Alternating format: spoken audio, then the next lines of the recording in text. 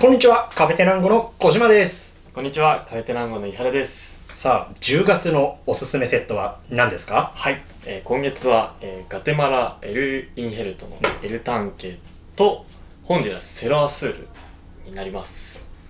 両方ともちょっと標高が今月は高いところですね。はい、じゃあ早速、セロアスールから飲んでいきたいと思います。はい、どうぞありがとうございます。えーセロアスールは3番と5番から選べますね。はい、では、いただきいます。ただきます。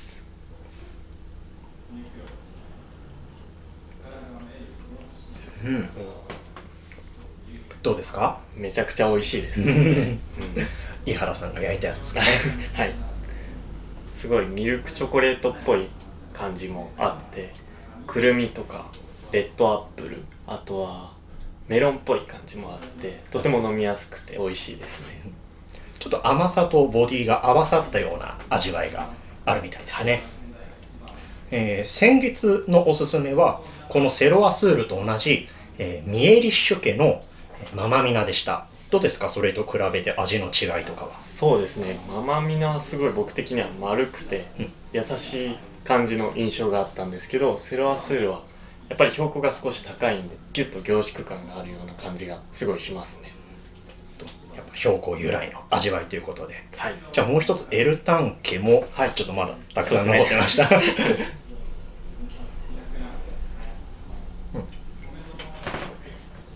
えエルタン家は、えー1番、3番、5番から選べます。はい。じゃあ飲んでみましょう。はい。いただきます。ごめんなさい。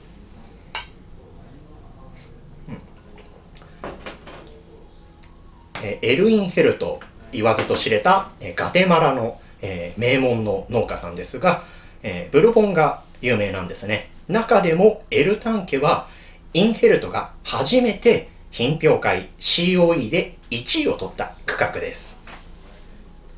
どうでしょう？味は？でも、はい。今回今5番を飲んでるんですけど、うんとてもダークチョコレートっぽい感じが強いのと、まあ、レザーとかカシスあとは後味甘い感じがすごいバニラっぽい感じとかもあってすごい上品なコーヒーっていう感じがすごいしますね。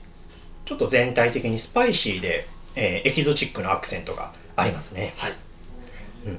えー特に今月はですね、えー1番、3番、5番から選べるといった具合にですね、やはり、えーカフェテナンゴのような、まあ、小規模なロースターですと、こういった高いコーヒーも、えー少ない量で注文できたりと、あとは、えーお好みの焙煎度で注文できたりといったところが強みかなと思います。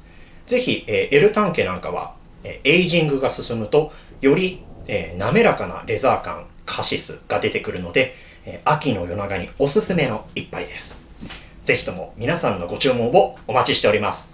では、そえまた次回お会いしましょう。さよなら。さよなら